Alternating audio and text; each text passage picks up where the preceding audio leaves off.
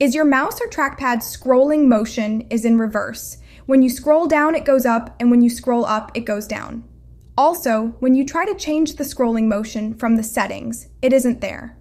In this video, you will learn how to change the mouse scrolling motion in your Windows 11.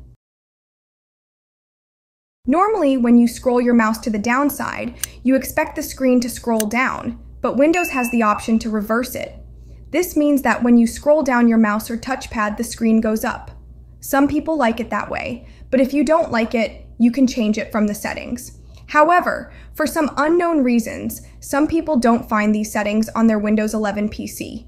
For such people, we will take the help of the registry editor a little later in this video. But for now, let's see how to change the mouse scrolling motion from the settings.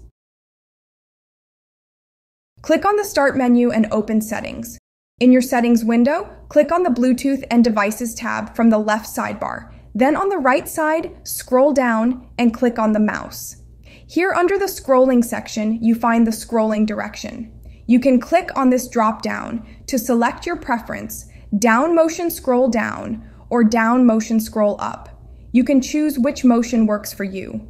However, if you don't find these options in the settings, you will have to use the registry editor. Before making any changes to the registry, I would suggest taking a full backup of your PC so that in case of any mishap, you can restore the backup. Press the Windows plus R button to open the Run dialog, then type regedit and hit enter. Click Yes in the UAC pop-up. You will see the registry editor, but before going further, we need to take the ID of the mouse device which we will find in the Device Manager. Press the Windows plus R button, type devmgmt.msc, and hit Enter. On the Device Manager, you need to find mice and other pointing devices and expand it. Now right-click on your mouse and select Properties, then click on the Details tab. Here, click on the property dropdown and select Device Instance Path.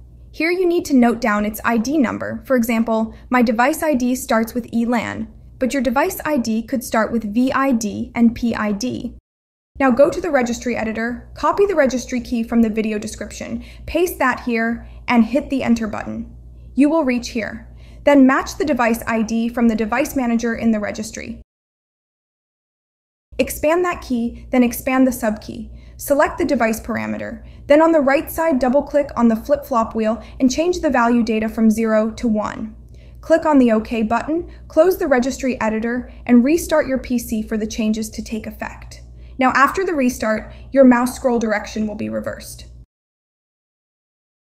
If you want to change the scrolling direction of the trackpad, open the settings, go to Bluetooth and devices, scroll down and click on touchpad, then expand the scroll and zoom section. Here you will see the scrolling direction. Click on this drop down and select either down motion scrolls down or down motion scrolls up. So this is how you can change the scroll direction of the mouse in Windows 11.